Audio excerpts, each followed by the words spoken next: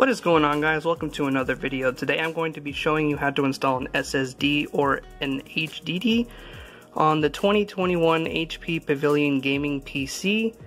Uh, as you see I have my SSD right here and it's going to be a straightforward process, pretty easy, so let's begin.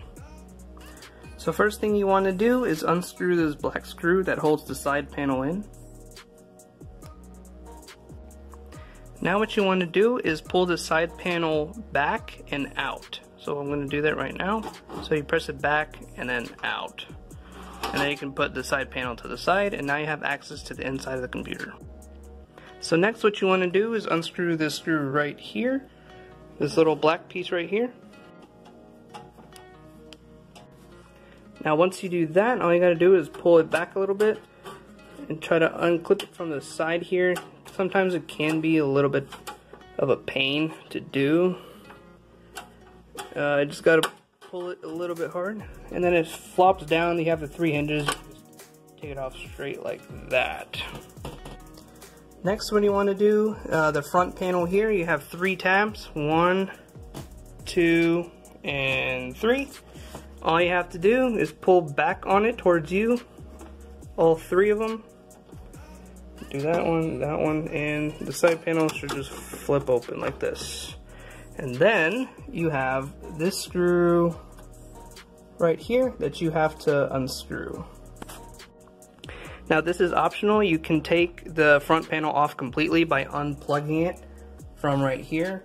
Uh, but for this reason, I'm not going to unplug it. There's really no need to. Just make sure you lay it down softly and not yank it out. But now you just unscrew this and that will take out the tray.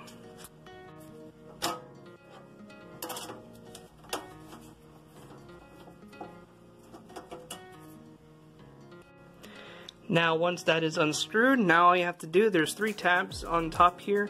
All you gotta do is just pull it out towards you and just slide it out like that. And now you have access to the tray which we will install the SSD on, or the HDD. So this is the SSD I got. So if you want uh, to buy this one or whatever, I'll leave a link down in the description so you can get it for yourself. So how this works is you have holes on the sides. You have one, two, three, four, but on the tray itself, you have uh, only three as you can see here, but it's no big deal because these are pretty light, so three screws should hold it just fine. Now also keep in mind that the SSD or HDD you buy usually doesn't come with screws, so make sure you have the small screws. Uh, now in my case, uh, I only have two short ones, so what I just did is I did two diagonally, and that should be enough to hold the SSD in place without it moving around too much. So if you do buy an SSD or HDD, make sure to buy some screws uh, so you can screw them all in. So this is how it looks with the SSD installed. Make sure the pins are facing outwards or at least downwards. Uh, so all you gotta do is you put the three tabs in here and then make sure it goes all the way push it in and then what you would do is screw it in and also plug in your uh, SATA cables, I would do that first before you tighten this. So go ahead and plug in your SATA cables. So this is what it looks like once you install it. You put it here and you have the SATA cables installed and then you screw that back in to hold the tray in place.